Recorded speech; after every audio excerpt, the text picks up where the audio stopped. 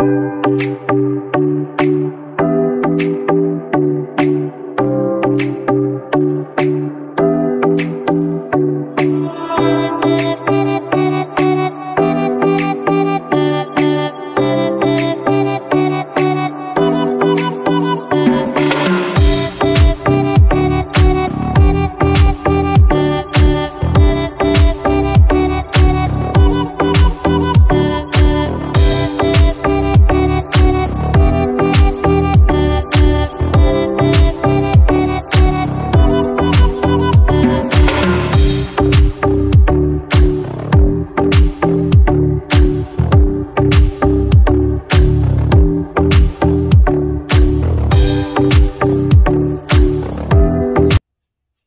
welcome back YouTube.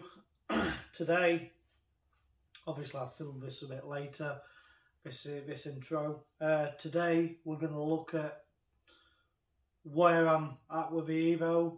Uh, underside's done. I haven't done this on the video. All the back hubs are on, the back shafts are in, the back subframe's all on. Uh, what else we got on? All the ABS wires are all in, handbrake cables and clips are on. I've tied it under the back seat and put all the covers on, etc.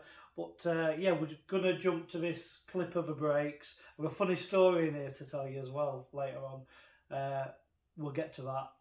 But yeah, I'm going to jump to the back brakes now and uh, have a look at these. So I'll tell you what, guys, I've put obviously new shoes on here. Uh, got everything back on. But what an absolute pig. If you can see where them clips are, this side I thought were the hard side. But you can actually just easily get to the back of the pin here and hold it. But this side, let me show you. I've had, this is trying to spring out. I've got that wedged in with a screwdriver just to try and hold tension back. I've got another screwdriver on the back, say I look down at the bottom, look, just see it silver. Down there, trying to hold that bloody pin straight to then try and get grip pliers on it and my word, shocking. I expected uh, him to be a piece of piss. I think I've made a, an error here because what I think I should have done really is built these onto the back plate before I put the hubs on, but these hubs don't split. So few is thinking, well, why don't you just take drive flange off? It doesn't. It's part of a bearing, so you'd have to unbolt it from the back of a hub. But then you've also got the issue of getting your handbrake cable in down the back of there. Yeah, not nice, not nice at all. But uh, it is doable, just fiddly. Another thing on these Evos, guys, these clip, the handbrake lever doesn't come with the shoes. So that clip you have to like sprag open, try and get it off, straighten it in the vise, put the new arm back on, and then like try and squash it back. You'd think they'd just send you a new clip with the shoes, and these shoes are Mintex, but they don't. Don't know what's happening here, guys. I've ordered Pagid discs. I've just took them out of the Pagid box. They were supposed to be just normal, ordinary discs, and they're drilled and grooved. Now, I've no issue, but, you know, I got drilled and grooved on fronts, but I have now on the back. So, a little story, guys, about my drilled and grooved disc. So, I've just rang eBay seller up, said, I've, you've sent me drilled and grooved. I said, right. Said, no issue, I'll keep them, but I want to know if I'm going to order the fronts, I want to make sure they're drilled and grooved to match. Yeah, yeah, yeah, yeah, yeah, there will be, yeah, yeah. Oh, well, we shouldn't have sent you drilled and grooved, they're 25 quid extra. I went, all right. Oh, he said, well, this is, this is where it gets funny. He says, let me speak to manager. So manager comes on, he said, our error, we shouldn't have sent you drilled and grooved, we should have sent you normal ones. Uh, but you can keep the upgrade free of charge. So I was like, oh, brilliant, nice guys. So then he said, he said, did you, you said you were after the front? I went, yeah, yeah, yeah. He said, yeah, well, you know, you know the fronts. Uh, there's very take your edge, give reg. Loads of variations on the front. I went, oh, I said I'm looking on your eBay store and uh, I found them here, the drilled and groove fronts with the Brembo pads. Oh, yeah, yeah, yeah. Well, uh, you need to make sure. Make sure, because I said, well, what diameter? He said, uh, 318. So, off I trot. Gets tape measure out, toolbox while he's on phone. I measured them. I said, he says, because they're a bit expensive, with all variants, prices. And this is what he's doing. He's trying to get the money they've ballsed up and give me these, he's trying to add it on to the next one. So he wants me to buy them out of eBay direct through him. So it works out. He says, "Oh yeah, the 318 and and 318 is a very rare size on an Evo." And I'm like, "Oh, I think he's talking a bit of bull here." So I measured him. I went, "Oh, I said mine, uh, mine measure up at 318." He went, "Oh," he said, the, the, "I think listing's wrong." Uh, uh, uh, my man will get you a price. So anyway, on old, matey boy comes on. Yeah, yeah, yeah. They're 154 quid on eBay, 25 quid short, shorted me, or 24, whatever it is. So 154 plus 24, which works 178, 179 quid. So he said, yeah, yeah, the discs delivered uh, 179 pound. Oh, oh, how ironic! How ironic! So they've ballsed up on the discs and now they're trying to overcharge me for the fronts to offset the money they've just lost on the discs after they've just told me to keep them as a free upgrade. How does that work? Yeah, so I don't know what to do. I don't know whether I might do I make it awkward and send them back and let them send me the right ones or piss them out or do I just buy the front discs.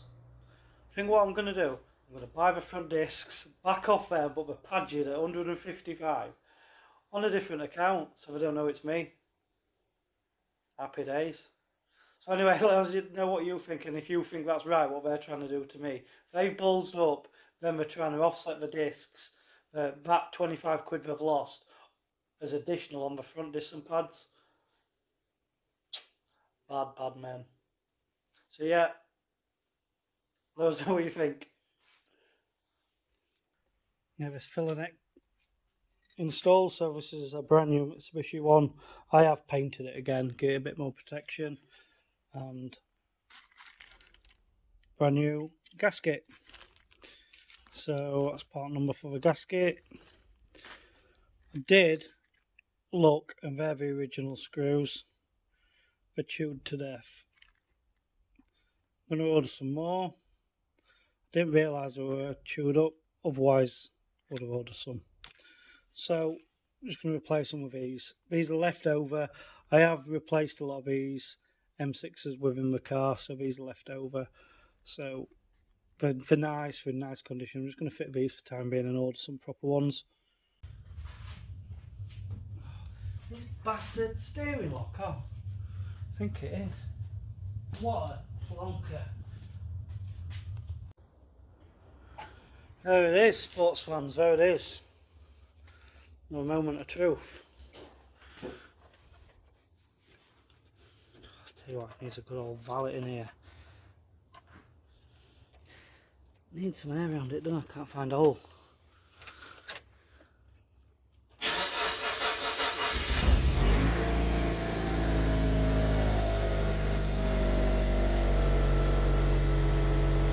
Oh, Look at that. Beautiful, beautiful machine.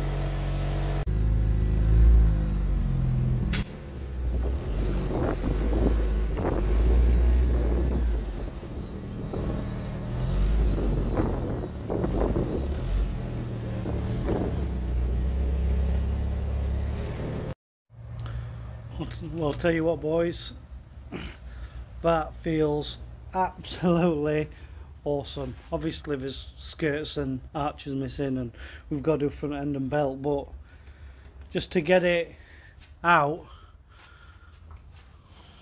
out on its wheels in the daylight yeah awesome going to get a, a, a pressure wash off and see if we can get most of this shite off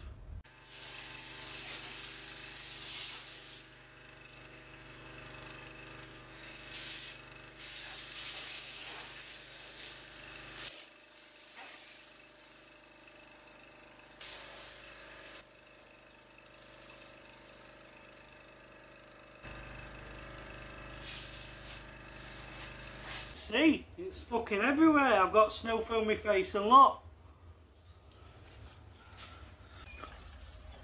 So guys, there it is, the good old wash outside. Uh, come up alright. So just got most of the shite and crap off so it can sit there for, I've got a week, it can sit there. So it, uh, quick walk round obviously got skirts, skirts will go on last. I haven't managed to put front plate on yet, that's coming off. I've got number uh, front bumper to remove so that's no biggie whatsoever. So it's been nice to actually get it out and get the uh, garage empty so I know it probably don't look like it to you but uh, you know benches are pretty clear. I've had a good old tidy up, tools away and uh, a good good old uh, well put it this way I've, I've filled the bin so got this little thing in needs fixing. So we'll see. Shocker legs in. Yeah get this fixed. So yeah cheers guys thanks for coming back and uh, hopefully we're going to start on the front end a timing belt for the next video. But yeah, if you can't tell, this smile, extremely happy today. Extremely. Got to bleed AYC as well. Uh, and then I think we're going to go from, once we've done all this and go from end on, we're going to go map it. So we'll let you know how that works out as well. So cheers guys, see you next time.